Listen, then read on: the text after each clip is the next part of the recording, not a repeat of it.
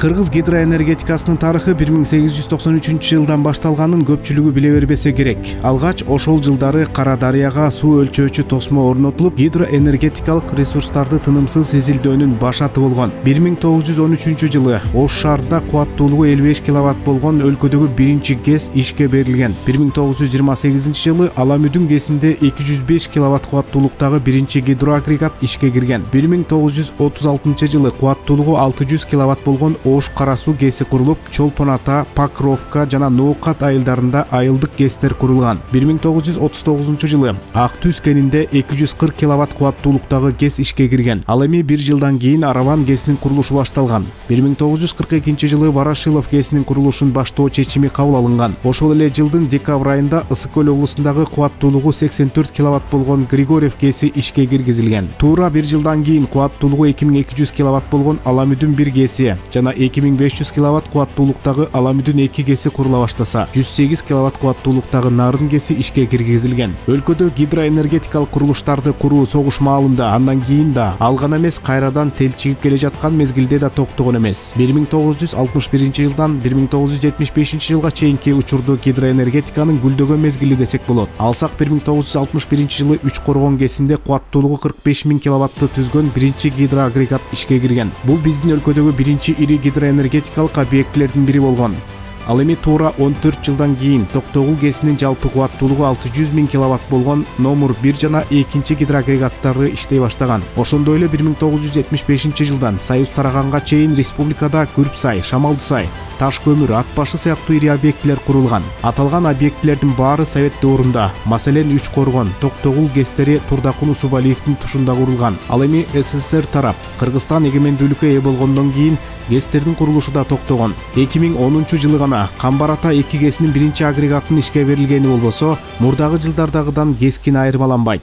Буга катар совет доорунда курулган энергетика объектилеринин баардык жабдыктарынын дээрлик сексен пайызга эскилиги жеткен. Ал эми эки миң он экинчи жылы кыргызстан рус гидро компаниясы менен камбар ата бир гэсин жана нарын дарыясына бүтүндөй гэстердин каскадын куруу боюнча келишимге кол койгон башында баары жакшы башталгандай болгон кийин эле кыргызстан рус гидро менен болгон келишимди жокко чыгарды буга арданган орусиялык ишкана кыргызстанды эл аралык арбитраждык сотко берип отуз жети миллион доллар доого чыкты анткени алар долбоордун алгачкы жумуштарын баштап коюшкан болчу. Ошол маалда кырдаалды иликтеген депутаттык комиссия түзүлгөн. Алмамбет шыкмаматов жетектеген топ бир нече жолу жогорку нарынга барып жасалган жумуштарды жеринен көрүп чыккан. Алар долбоордун баштапкы жумуштарына жумшалды деген отуз жети миллион доллар бир нече ирет кымбатталып көрсөтүлгөнүн аныктаган. Түшүнүктүү болуш үчүн мисал келтирсек отуз жети миллион долларга кыркка жакын жаңы мектеп салса болот. Эки миң он жетинчи жылы шыкмаматов маектеринин биринде кырдаалды өлкөнүн кызыкчылыгына чыккынчылык катары баалаган.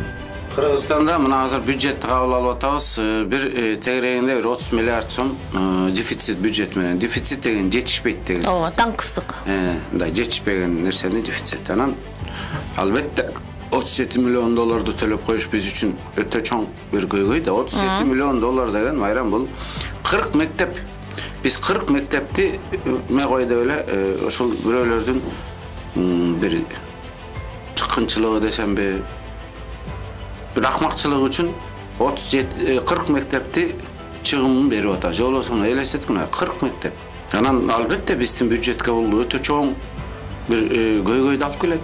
Эки миң он жетинчи жылы рус гидро кеткенден кийин жогорку нарын гэс каскадына кошуп дагы он чакан гэс курат деп чехиялык лиглас менен келишимге кол коюлган. Бул ишкананын куйругу таза эмес деген каңшаарлар ошол учурда эле айтылган. Көп узабай эле чехтер менен түзүлгөн келишимди да четке кагышкан. Чехиялыктар рус гидро койгон отуз жети миллион доллар доону төлөп бермек. Ага кошулуп беш жүз миллион доллар инвестиция тартмак. Бирок ишке ашкан жок. Чехиялык компаниянын буга чейин ири курулуштарды курууга мурда кийин катышпаганы кийинчерээк белгилүү болду. Баарынан кызыгы кыргызстан менен келишимге кол коюп жаткан маалда ишкана банкроттун босогосунда турган эми тендерди кантип утуп чыккан деген суроо жаралбай койбойт эгемендүүлүк алган жылдан бери кыргызстанда бир дагы ири гэс курулган эмес. Ушул көйгөйдүн айынан өлкөбүздө кышкысын электр энергиясынын тартыштыгы келип чыгууда. Ар жыл сайын бирден гана гэс курулганда бул маселе болбосо эле. Анткени учурда кыргызстандын энергетика тармагы жыл бою үзгүлтүксүз электр энергиясы менен камсыздоого мүмкүнчүлүгү жетпейт ал эми адистердин айтымына караганда энергияны керектөө бир жылга бир жарым эки миллиард киловатт саатты түзөт. Башкача айтканда жыл сайын жаңыдан ишке киргизилип жаткан кубаттуулуктун көлөмү жүз жетимиш эки жүз мегаваттан кем эмес болушу шарт.